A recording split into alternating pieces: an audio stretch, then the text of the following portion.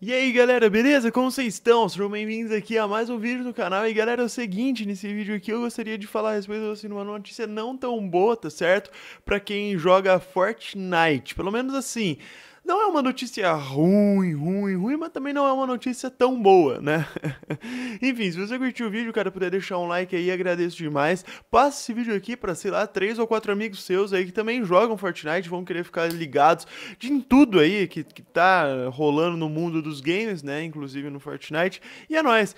Uh, também se quiser comprar algum jogo aí de Playstation, de Xbox, quiser aproveitar aí, mano, lançando God of War, ó, link tá na descrição, beleza? Aproveita. E galera...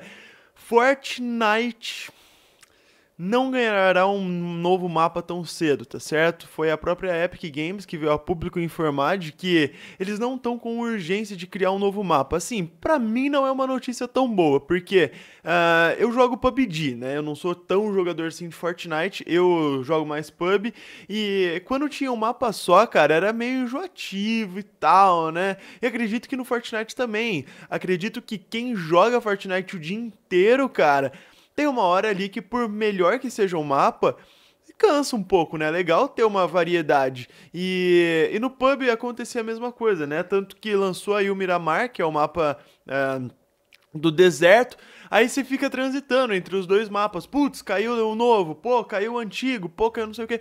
Sabe, o jogo fica mais dinâmico. E no Fortnite parece que não vai ser assim, tá certo? Não há urgência para nós criarmos um novo mapa agora, explicou o líder de design, o lead Eric Williamson. Acho que é assim que se fala, né? Ele continuou falando: não é, não é uma prioridade agora, enquanto nós continuamos evoluindo para, é, para fazer o mapa uh, parecer fresco. E é algo. Uh, e isso é algo que nós estamos muito empolgados e interessados. Então fiquem ligados, nós temos algumas ideias interessantes, mas não é para agora, tá certo? Acredito que o novo mapa do Fortnite chega ainda esse ano, né? Só que mais lá pro final do ano, sabe? Então até lá uh, os jogadores aí vão ter que se contentar com o mapa atual.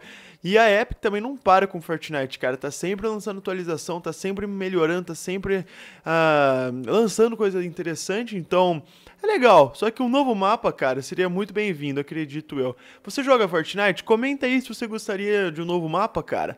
Gostaria de saber a sua opinião, certo? Enfim, tamo junto, galera. Valeu e aquele abraço.